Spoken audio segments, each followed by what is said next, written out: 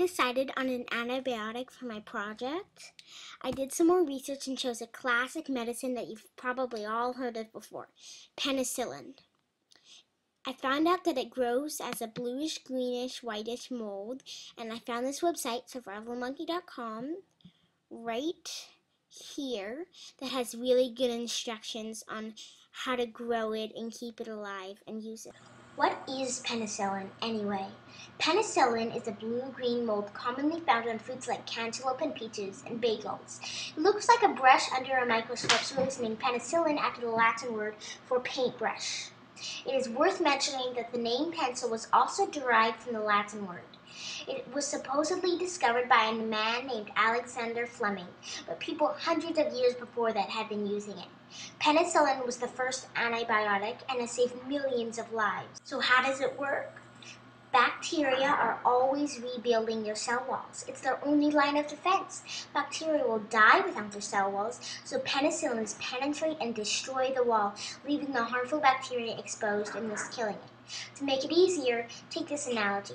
Penicillins are to bacteria as HIV is to our immune system. HIV is a virus that destroys a special cell called the T cell. The T cell is vital to the immune system, and without it, there is no defense. So basically, HIV is stripping our bodies of our defenses like penicillins did to bacteria. So there you go.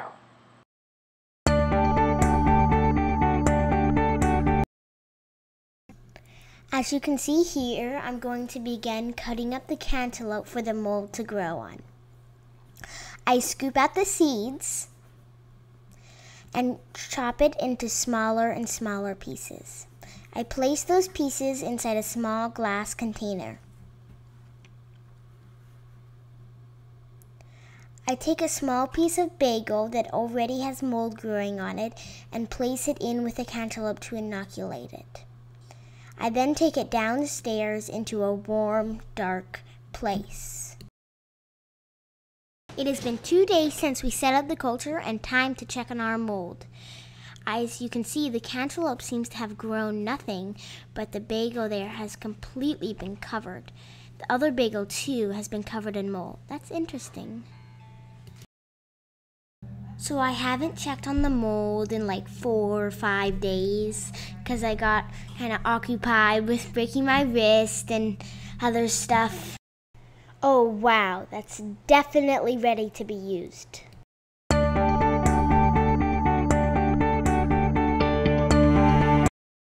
I have now scraped off pieces of the mold and will set them to dry. I will throw away the rest of this because it is too wet to use. I should have left the lid open a crack so the juices and water could evaporate. As you can see here, I'm just going to open up the band-aid and spread small chunks of mold onto it. I would then usually place it onto my affected wound, the old Indian way, but since you, this should only be used in an emergency, and some people are allergic, so I'm not going to actually do it. But if you had to, this is what you would do.